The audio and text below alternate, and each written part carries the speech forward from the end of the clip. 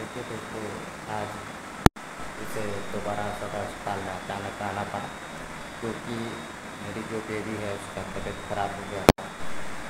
अचानक तो मैं फिर दोबारा सीतामढ़ी के सदर अस्पताल में लाया।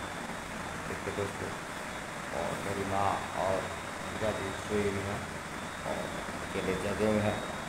रात को नींद नहीं आता दोस्तों, बेबी के बिना। तो दोस्तों, क्या करें देखिए, मेरा जो चेहरा का जो तो आप लोग को सामने चेहरा ही, बता देगा। बेटी को फिर अभी मेरा रखा गया है, क्या बोलते हैं? एस एम सी यू में।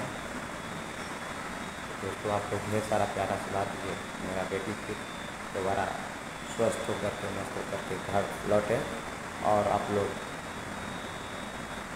को भी भगवान करे। फैमिली चाहे रहे सुखी रहे। देखिए मैं दोस्तों बच्चे के नहीं दिखा सकता हूँ, क्योंकि बच्चे एस एन सी यू में है। तो दोस्तों, ऐसा है आप लोग ढेर सारा प्यार दीजिए। देखिए और माँ मेरी पत्नी पूजा सोई हुई है और हम भी सोए में तो पूजा क्या नींद नहीं कर रहा था रात भर। क्या करें?